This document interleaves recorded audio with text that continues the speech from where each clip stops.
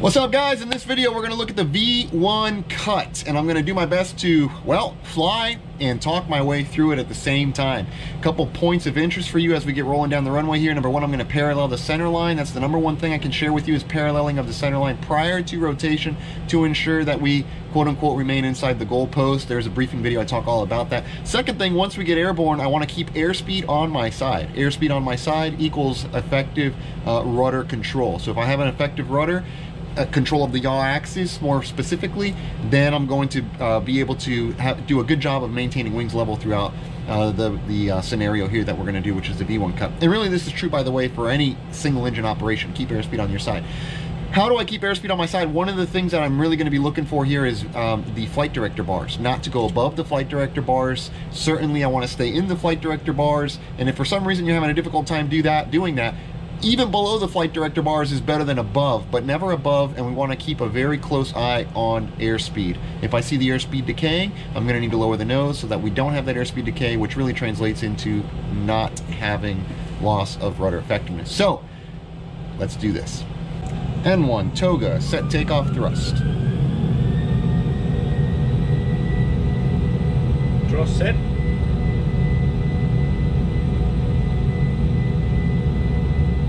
Ready not. Check. V1. There's the engine failure. Failure. Paralleling the center line, smooth rotation off. Now I'm looking immediately inside to the pitch attitude. What I want to see is wings level. Nice. Now I'm watching my airspeed. Any speed decay that I see, I'm going to lower the nose. Gear up. What's the rate here? So now I'm scanning airspeed. Now you see the airspeed's decaying here, which is normal because it's going down to the V2 speed. Heading select. And I'm scanning airspeed and heading because I want to stay inside of the Airman Certification standard tolerances on my heading there. So I can see that right here, I'm certainly within those tolerances. Tower uh, training declare an emergency, one engine failure.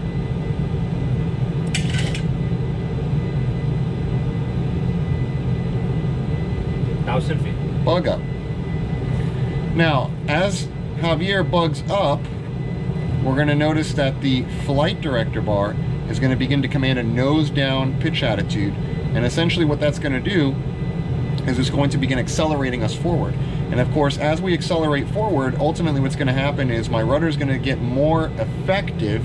And as it gets more effective, I'm going to need less of it. So I'm just going to be prepared to remove some of this rudder pressure as the airspeed accelerates and also not only remove the rudder pressure but also remove the rudder trim. Now I did use some trim back here. There's some different techniques that we can talk about but primarily all the technique I would like to share with you is use as much as is needed to feel good and comfortable on your foot.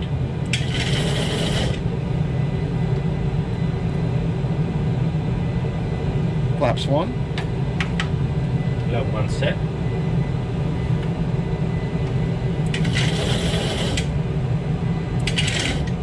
flaps up, Flaps up set. Nice, so we got the flaps up. As soon as I hear flaps up, no lights, I'm just gonna call for level change, max continuous thrust. And that is pretty much the end of the stick and rudder portion of the V1 cut. Of course, if you haven't already done so, take a look at the Command A. Uh, V1 cut whiteboard briefing that comes before this video to get a better idea as to some more tips and tricks and techniques. But hopefully now this video has provided some insight for you as to how it's going to go in the simulator in terms of seeing the whiteboard briefing in action. We'll see you in another video.